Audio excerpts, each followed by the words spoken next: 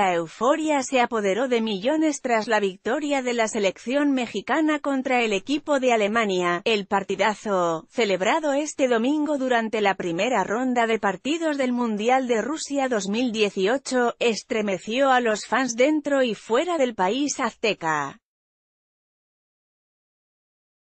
Y no sabemos si fue debido a la emoción que cuando la cantante Becky G publicó su mensaje en Insta Stories para felicitar al Tri se equivocó y escribió mal una palabra creando una ola de burlas por su error, en lugar de escribir «Viva México cabrones», la intérprete de 21 años escribió «Carbones».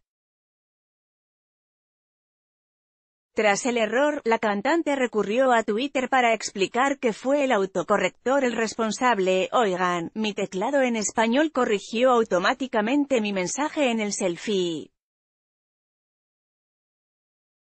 Me acabo de dar cuenta, literal.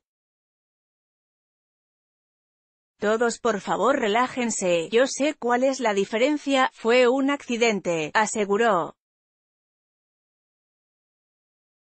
En otro video, que publicó la cantante se veían las lágrimas correr por su rostro.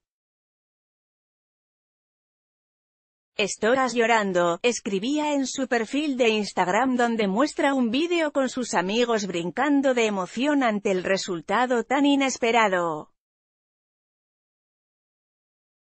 Suscríbete a nuestro boletín La victoria de México contra Alemania fue histórica, no solo porque la escuadra germana arrancaba el torneo con el título de campeones del mundo, sino porque es la primera vez que los jugadores aztecas se imponen a los teutones en 32 años.